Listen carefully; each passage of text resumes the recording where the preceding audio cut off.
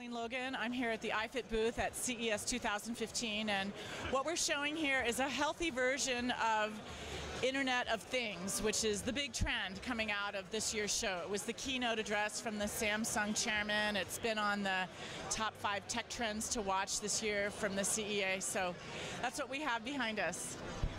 Tell me a little bit uh, about um, iFit. Sure.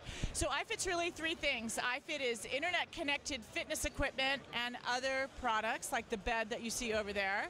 Uh, it's also iFit tracker bands. Uh, new line has GPS and some other cool features. And it's also, iFit is the service and the subscription that links all of these things together so that uh, one thing informs the other, informs the other, so you can lead your healthiest life possible. So one of the products that iFit is introducing here at CES 2015 is a different kind of tracker band. We're finding that a lot of people don't want to have two things on their wrist, a regular wristwatch and a tracker band. They just want it all in one. So what we have here is just a really nice, good-looking watch, analog watch, that flips over to become a tracker band on the other side. How do you think iFit and the Internet of Things will change people's lives?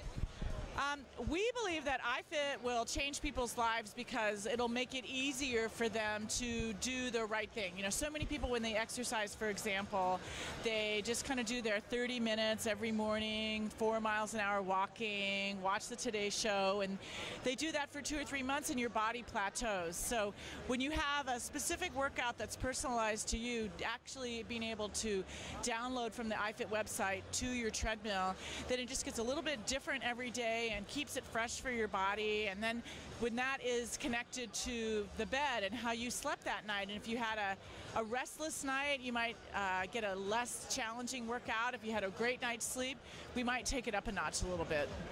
Perfect. Is there anyone you're looking to partner with in the Internet of Things at this time? Um, we're open to all opportunities. iFit is part of the same company that also owns Altra Footwear and Nordic Track treadmills and Proform fitness equipment. So um, we have some great uh, brothers and sisters, so to speak, under the same uh, family uh, in our own company, but we'd love to expand it if there's anyone interested. Thank you so much.